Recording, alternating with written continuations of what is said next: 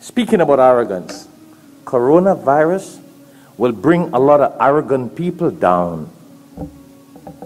Oh, yeah. You know, Allah in the Quran says, La tusrifu. Do not, Allah does not like extravagance. Coronavirus will bring that down also. A lot of people who are extravagant in their lifestyle, they boast of extravagance. We have this, we have that. Down goes the play. Coronavirus is a lesson for us to curb this extravagance. Allah has no problem with us enjoying life the halal way, Mm-mm. but not extravagance.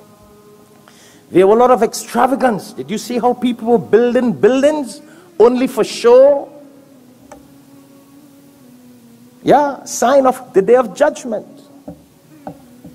And the skyscrapers are enough to let us know. And I'm only using that as example. If it's necessary, it's necessary. But that happens in homes, in businesses, in our lifestyle. We are very extravagant. Once upon a time, just a few days ago, people would go to the supermarkets and the Walmarts and the Sam's and the Costco and all these places and buy so many things that they would hoard in their garage. You know the garage? Yeah, the garage. They got extra and they won't give it to a poor man. It will spoil and it will expire.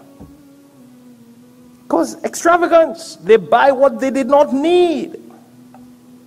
Now the very same people got to line up to buy what they need. Allahu Akbar. See how Allah can teach us?